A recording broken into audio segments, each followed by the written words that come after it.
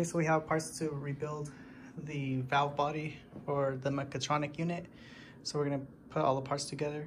And that part that was missing here, or not missing, but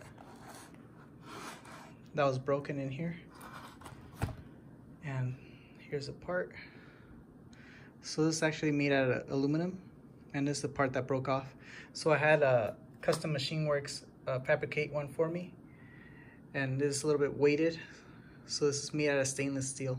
So this will not break or come off um, from the clip that's in here. So yeah, so let's get to doing the rebuild. And for that, to put it back, we're just putting the parts back on there. For example, this little screen goes on right there. The steel ball goes there. And you have your little um, plastic ball and now one sits in right there.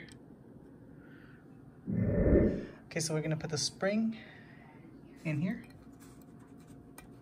like so. And there, we're gonna put this, and this one will be facing in like this.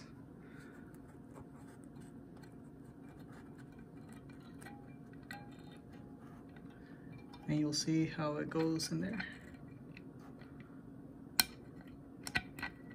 Maybe. It's kind of difficult. So it looks like it's a perfect fitment. So now we're gonna just put this ring on here. So it won't come off anymore. Or won't pop out. yeah.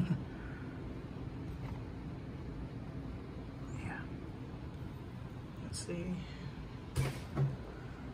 Yeah, that should be it. So now we can put this back on. So just put this on here like so. And you don't want to lose that.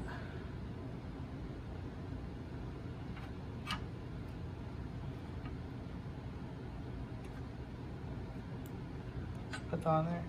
And to um, screw this on, you'll just, just do the what we did before. So for that one, it'll be the um, T20 and that will be uh, these two screws right here. So I'll just get the screws for that one. Screw this one right here.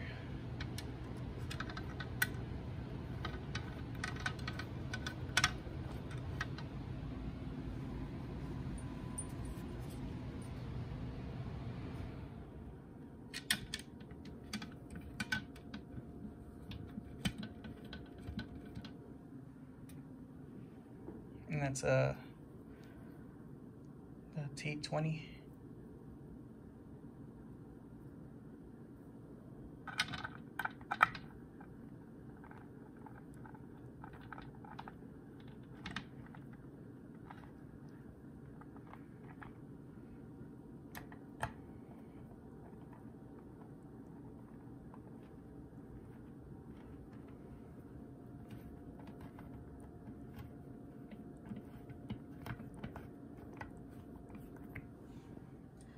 Now we can put the top side up here.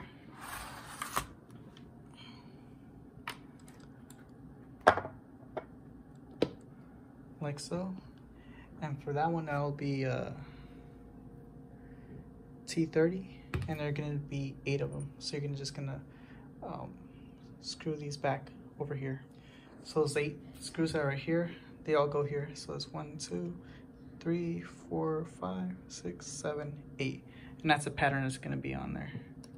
So that one, as I said, is gonna be a a T30 just to put all these on there. And it's just gonna be um, as tight as you can make it. I don't know what the pounds um, force that you need to use on here, but when I took this out, it's not as tight. So it's just as, uh, as tight as you want it to be. So here we go, now it's back on. And now we're gonna add the top portion of that one. And we can just flip it over.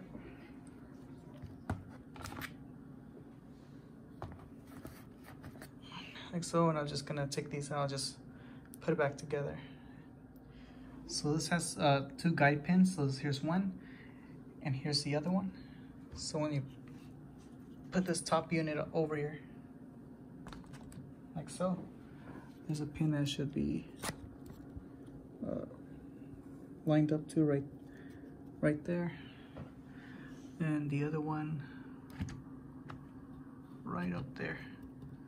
Sounds good. So now we can just screw these on. And they're all the same size uh, for all the screws that are can be on here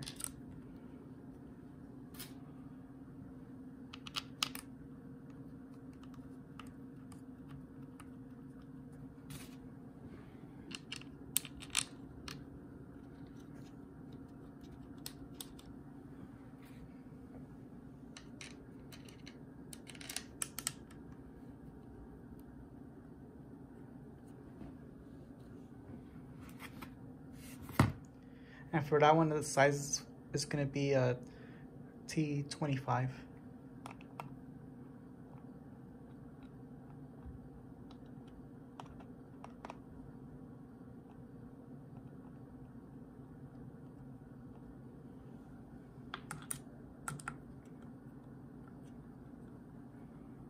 Okay, so we got it done.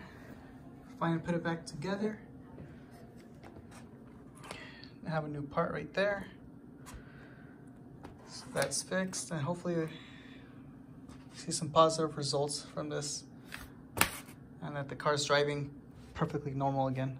So if you want to know more information or how I got um, all this for this uh, Mechatronic unit, um, it'll be right here. So this is the Getrag um, transmission index. So this even has like the solenoids, like what you would you would need if you wanted to purchase them online. Um, it's got the serial numbers right here. For this one, the DCT uh, 470 transmission. And also it's got your parts right here too. So it tells you even how it goes, you know, the seals and everything on there.